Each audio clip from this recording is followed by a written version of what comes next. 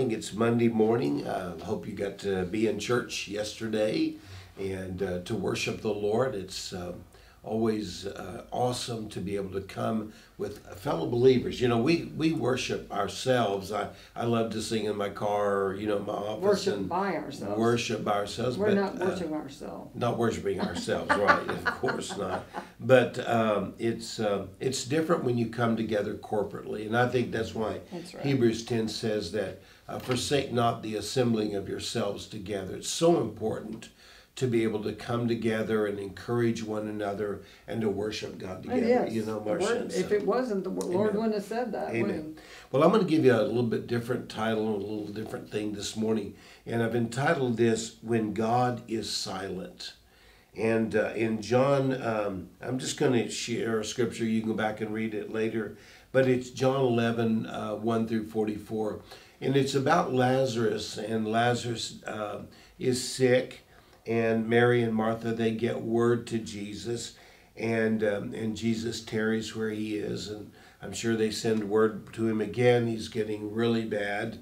Um, won't you come? And Jesus continued to tarry, and then finally they sent him word that he has died, and you know I think sometimes we feel that way when we pray and we don't see an answer. We feel like them many times and uh, and I know Jesus showed up and he said, you know, this is for the glory of God, but they felt like their prayers weren't being answered when uh, when God wasn't speaking to them.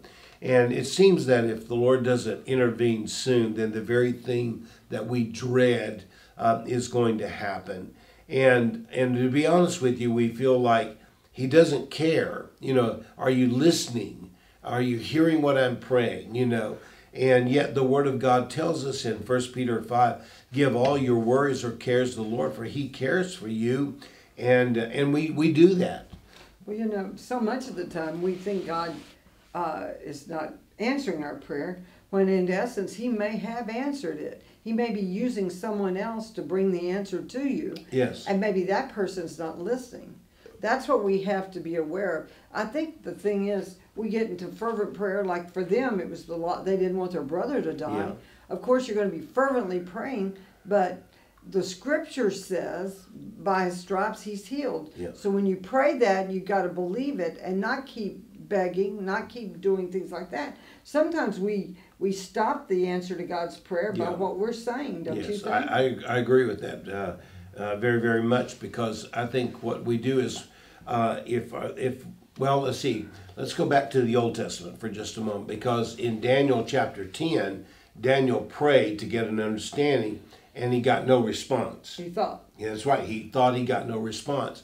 And so then uh, uh, this angel come, the angel Gabriel comes to him and said, no, he said, uh, and this was like 21 days later, you know, he said, no. Um, he said, God heard you not in the week that you prayed, not in the day that you prayed, but he said he heard you the moment you Amen. spoke the words. Amen. So this is what you have to understand that God is God's hearing you, but many times there are things in the spiritual realm that have to be changed or moved around uh, if that's God's will for it to bring that to pass. Okay, it, it aligns with the word. Right, God aligns with the word. When it, your prayers align with the word of God, He's in the move. And He's that's His will. That's, that's His, will. will. You know? He's moving. Right, His word. We keep saying people, keep you saying, well, what is His will? His word is His will.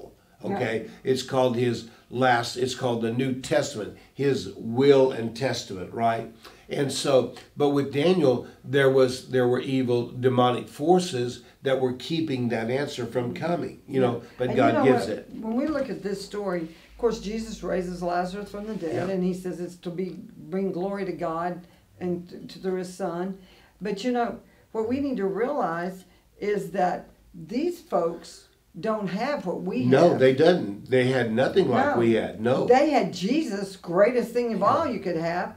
But Jesus said, I'm going to give you this power, yep. and greater work shall you do than I can do. Yep. And what he meant was, he's spreading it out throughout the whole yep. body of Christ. And you and I, when we pray, we don't need to give up. We don't need to get down. We don't need to get upset at God because the answer is not when we want it to be there.